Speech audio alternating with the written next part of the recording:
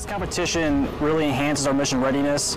We're taking Marines from across the Corps, all of our major installations, all MOSs, and we're giving them the tools to rapidly and effectively engage targets at various distances and with various weapon systems. So we are absolutely more ready to fight because of this competition.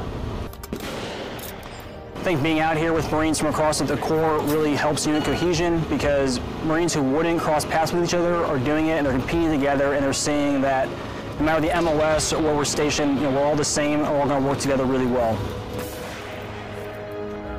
Coming out here and getting the familiarization with the weapon systems is a huge part. You know, the M18 was recently fielded, and now the M27 with the SCO is a brand new weapon system to most of the Marines out here. And I think that getting on the gun, getting familiar with it, and also just getting comfortable shooting it is going to be the most important thing.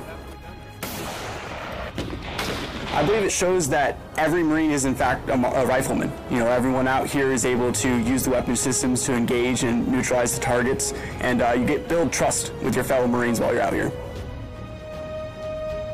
The, the, competition, so right now we are actually going through each one of the weapon systems, learning up different things. We're not all part of uh, infantry units, uh, people that really get time on the weapons, so it's really interesting to actually go through and apply those fundamentals to uh, go through and, and engage targets the, the new sport of USPSA style shooting was, uh, was eye-opening. It's fun to actually engage different type of targets and go through there. I would say come out and experience it. Um, no one out here is going to criticize you. Everyone wants you to succeed. Um, the first step is just, you know, jumping in and getting it done.